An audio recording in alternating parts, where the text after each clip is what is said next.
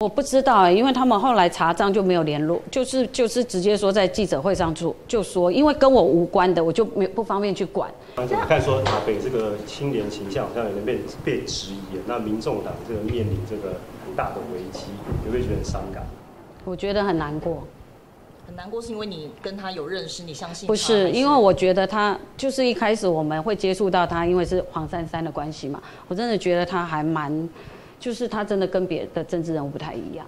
就是他真的就是我不知道是我认错人还是眼睛不好。办的场租这个怎样都有问题啊！我说你们报账是怎么报的？你们为什么会这样？那我同时也问任俊哥说，请问这个网站要去哪里看？他说什么监察院什么，他就传了一个网址给我，让我们去看。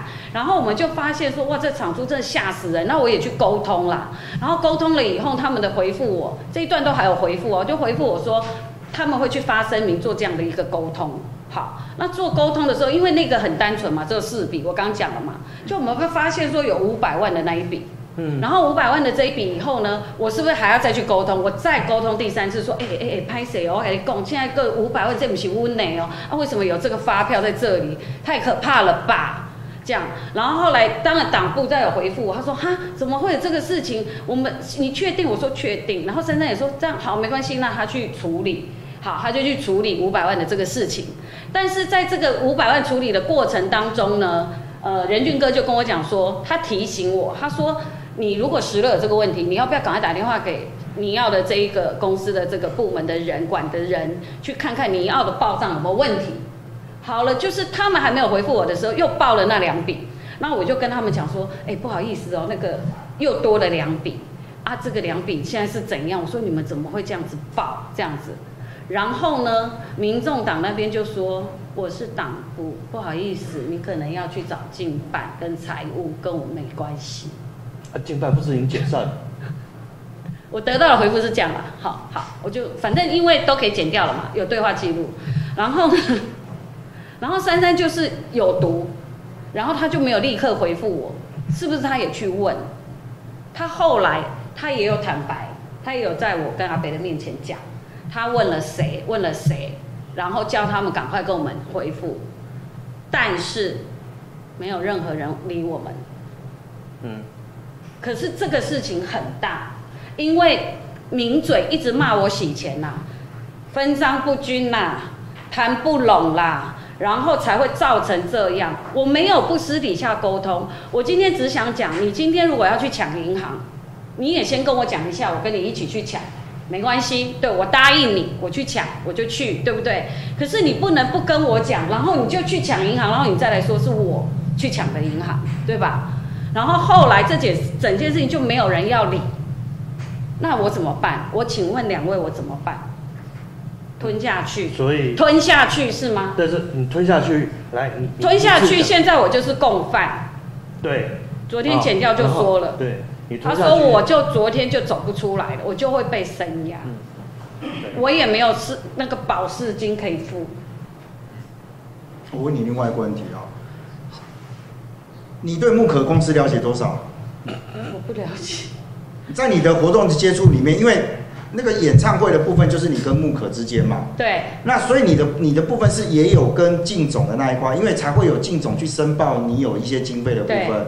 那木可公司跟你之间也有一些活动的接触，嗯，那就你知道的，木可跟科办之间到底是不是同一个系统啊？其实我不知道哎、因为我们其实也是分很清楚，就是说今天珊珊哦阿北找我做这个事情，对不对？他来拜托我们，然后我如果同意，或者是我们公司有股东接到或谁接到同意他答应了，他们就会回报到公司，然后公司就会有一个专门管财务的人，他们就会去对。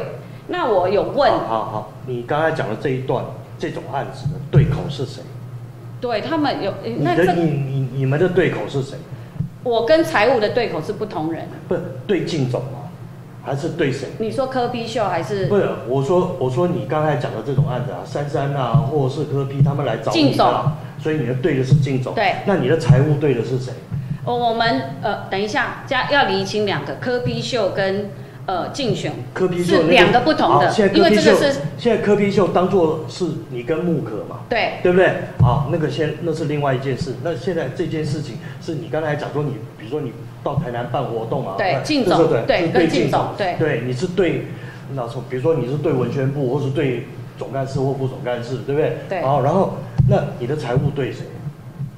我的财务啊，嗯，哎，这看可以讲吗？因为我我们财务昨天也有去剪掉讲说他对的人是谁，所以我可能没办法讲。因为现在台南的那个事情，大家都在吵说那个四百多万办一个活动好像很多钱。那您刚刚也有说您那边有清单，可以大概跟我们讲说那个四百多万的支出大概是有哪些吗？哦，好，因为呢，现在就是侦查嘛，我们把所有的东西，我们其实呃所有的东西都在剪掉那边，然后剪掉那边就是我手头上连银本都没有，对，然后我们必须要做的是，比如说我们所有大队人马到台南的吃住行，对吧？我们的执行的这些钱，然后还有企划、文宣、输出、视觉设计、多媒体设计、VJ 执行设备的一个。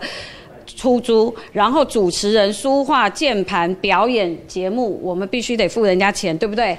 导播团队、摄影、EFP、网络直播，所有你们这些电视台的直播的一些小乌龟等的这些设备，我必须要有。硬体工程就是舞台、灯光、音响、帐篷、椅子，到后面的 LED 音响，你要到很后面的人都听得到，这些都是费用。然后因为那一场时间非常赶，所以所有的人。都很多去很多人力去搭那个，所以它的费用很高，而且那一场我们根本就找不到硬体设备的人员。我还记得他们是从屏东来的，就是屏东的厂商来支援了这一场，然后场部周边就我刚刚讲的工读生，当然民众党都有很多的志工，我们包括志工的便当我们都有提供。我听说他们以前连志工都没有便当的。叫我们要躲起来吃，但我觉得这是不合理的，所以我们连自工都有给他便当，有给他水，所以这些人等攻读生，然后义交，然后你撤场，这些不用钱吗？我问你，所以有些民众党支持者觉得说办这个好像四百多万好贵，你会觉得这样子就是对你们可能有一点误解了。我觉得就是有误解，所以任俊哥希望我今天，他觉得说，因为这一段时间大家一直传来传去，传来传去，他希望我出来，就是直接面对，把事情讲清楚。你们有问题，我们就讲清楚。那以后以后就不要再讲了，因为就已经去剪掉了。那如果我今天犯法，我是不是昨天就不能出来？那其实也有就是同时承办像蒋万安阵营的活动，那就是有网友比对说，那其实价差好像有点大。蒋万安的那一场是这样，他其实是党部出了一点钱。蒋万安自己出了一部分的钱，我我我我们真的不能一直把别人的事情拿出来台面上说，你懂我的意思吗？所以如果大家媒体大哥，你们每一场演出、演唱会，或者是说你们每一场，比如说呃呃呃台北市政府的跨年啦，或者是说你去什么呃呃呃台东办一个演出，每一场你会根据场地的不同、规格的不同。配备的不同，有没有带备，有没有什么，它所有的费用都是不同的，所以不可以拿两场直接来比较说，哦，你的比较贵，我的比较便宜。如果那个十八万真的很好，你跟我联络，以后我们厂商有任何的活动都发给你。外界是质疑说，就是现在三比九百一十六万的这个数字，好像都冲到一些像尼乐跟石澳就是比较友好的公司，那你怎么看这件事情？以及说在现在这几天他们查账出来之后，有没有一些其他的黑数在公司里面？我不知道哎、因为他们后来查账就没有联络，就是就是直接说在记者会上就就说，因为跟我无关的，我就没不方便去管，因为那是人家的私账嘛，对吧？然后九百一十六为什么灌给我？我也很想问啊，我不知道到底是谁，因为现在说是端木正，我都不知道是谁去做的这件事情，所以我昨天有跟检调说，你可不可以赶快查清，然后告诉我们是谁。那你们怎么发现这个被灌水？那是不是之前其实剪掉已经有动作？我没没有前面剪掉没有工作，是一开始是任俊哥跟我讲的。他说：“你这修好嘛，开票开三次，场地费四百多万。”我说：“啊，什么东西？”他截图给我，然后更好笑的是，因为我他跟我们讲了以后，我们不知道去哪里查，所以我们去截那个电视媒体，就是名嘴在讲的那个电视的画面。那因为大家会会想说，呃，您会想想要跟民众党去做球场吗？因为毕竟您的声誉，包括从公司都有点受到这个影响。我现在真的头很昏，你知道吗？我现在只想一天过一天，然后一步过一步。我想要先把所有的流言蜚语先平静下来，然后我们再来想下一步。那跟黄珊珊有联络吗？有，事后还有刚才讲了因为有嗯，有就因为你他有一直安慰我啦。他跟我对不起啊。呃，因为他因为你刚我说到说他有说呃要找人跟你们这边做解释跟沟通，但是后来好像也都没有，所以是因为这样子跟您道歉还是？没有，他说这个他也不知道，说他有这个事情灌到我们这里来，然后他说让我受到这个损害跟名誉，大家这样骂，他就劝我不要看电视，然后跟我道歉。他说他会去查清楚，所以他们就对，那我就相信他去查清楚。那怎么看说阿北这个青年形象好像有点被被质疑了？那民众党这个面临这个很大的危机，你会觉得很伤感？我觉得很难过。